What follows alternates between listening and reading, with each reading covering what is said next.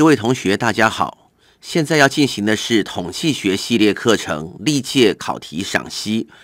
呃，我们这个部分介绍的是最大概似估计量的求法。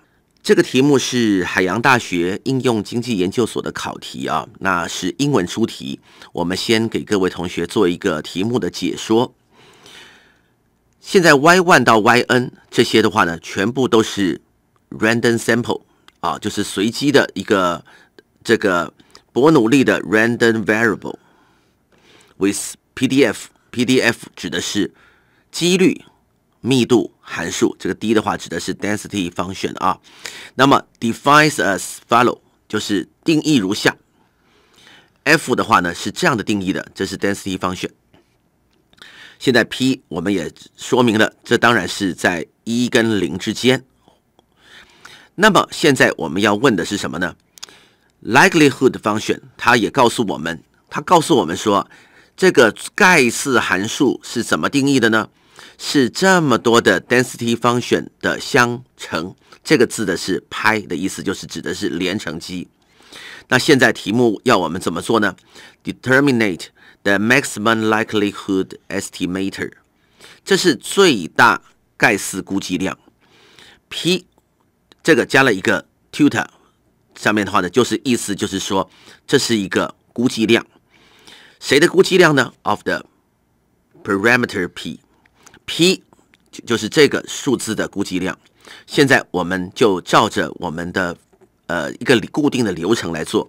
它告诉我们说，这个盖斯函数是所有的 density function 的相乘，那么我们就写出来，盖斯函数叫做 L。这是跟 P 有关系，跟 y one y two 有关系，我们就先写成 P 好了，因为等一下我们以 P 为主。这个是第一个，就是 P 的 yi，那我们就是从由一到 n，所以我们这边是有有 y one、y two，一直乘乘乘到哪里呢？乘到 y 的 n 次方，后面还要乘，这个我们把相同的先写出来。这里是一减 p 的话呢，第一个是一减掉 y one，第二个是一减掉 y two。当然，我们成不能够一每一个都写。这边是一减 p，这边是一减掉 y 的 yn。现在我们进行一个怎么样的动作呢？合并起来写，并在一起。这边的话呢，因为底数都相同，那么就是指数相加。p 的几次方呢？y one 一直到 yn 合在一起，我们用一个 sigma 来表示。那么这边的话呢，因为字很小，所以我们就省略了。这边 yi 指的就是由 i 等于一到 n。那这边呢，这也是底数相同。那么指数是不是也是相加？一有几个？有 n 个，所以我们这边写的是 n 个。这边减掉什么？全部的哈相加在一起，那么就是 sigma yi。好，现在这个 l 这个就是所谓的 likelihood function 已经写出来了。现在我们要寻求它的相对的极大值。那么怎么做呢？这个地方有指数，非常的复杂，所以我们有一个技巧，就是取对数。现在我们对它取对数，取对数有什么好处呢？取对数是可以把这个次方的移到前面去，相乘的可以拉开变成相加，所以我们取完对数的话，我就这边就直接就丢到前面了。Sigma yi 再乘上什么呢？ln p 这取对数啊，取了完对数，那这个是相乘的，就变成相加。这个也可以一样扔到前面去，所以是 n 减掉 sigma yi。然后呢，这个地方当然就是 ln log 什么呢？一减 p。做好了这个之后，我们现在下一步要做什么呢？寻求它的最大值。那么对它当然是微分。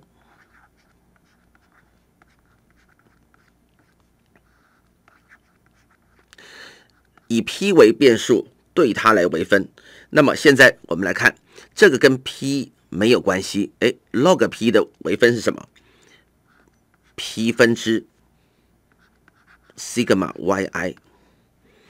这个地方的话呢，微分这边是照抄，本来是应该是加的，可是这边的话，微分会变成一减 p，根据连锁律还会试出一个负号，所以我们这边写我就直接写了哈。这边写的话，这边是一减 p，这上面就是 n 减掉 sigma yi。现在我要做的什么动作呢？我要令它等于零。令它等于零的目的是要寻求相对的这个 critical point，找到它的它的一个呃极值发生的可能的位置。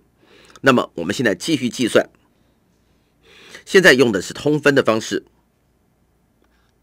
一减 p 乘上。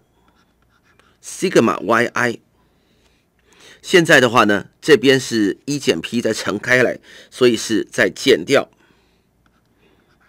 np，再加上 p 乘上 sigma yi，这个我们要求等于零。好，我们再继续把它乘开，p sigma yi 减掉 np。再加上 p sigma yi 等于零。现在我看到了什么呢？看到这里，这两个一一样的，一正一负，所以我们得到了什么结果？来解出 P，这就是我们的相对的这个这个叫做 critical point，p 就等于多少呢？p 就等于上面是 sigma yi，这是 n 分之 sigma yi，这是什么呢？哎，这就是刚好，各位同学知道，这是平均数。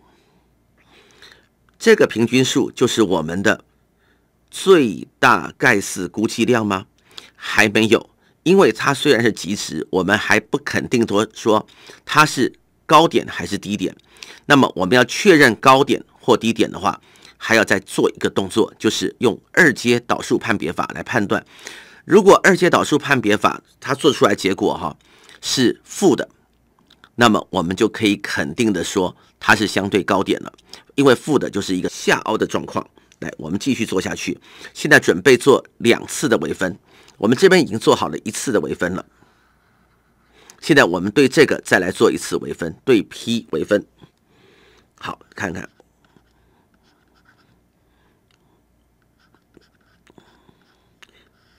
这个对 p 微分是多少呢？这个 p 的话呢，因为这是 p 的负一次方，所以 p 负一的次方就变成了，呃，负一提到前面去，然后就变成负二，所以是负的 p 平方，上面继续留着 sigma yi，然后再来再加上这个，这里是减的，可是这里的话呢，还有一个一个问题，就是说这是负一次方，负负得正。然后又又再加上一个负号，来，我们写下去啊。这是 n 减掉 sigma yi，这边是一减掉 p 的平方，那后面还要再多一个负一。那么在我们再继续看下去，这个地方来说，呃，sigma yi 啊，我们如果把它带下去的话呢，我们就可以发现。这个地方来说，都是全部都是负的，这是全部都是负的。我们以 p q 塔它带下去，那么这个的结果的话呢，是小于零的。两次微分小于零，它是什么意义呢？它代表的是一个下凹的情况。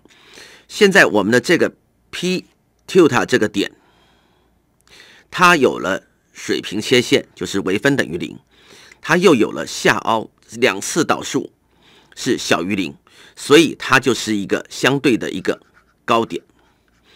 那么现在我们就可以得到了一个结论：p theta 是多少？of the parameter p 呢？它的最大概式估计量是等于 n 分之 sigma yi 没有问题，这里是 i 等于一到 n，那么我们就求出了这样的结果。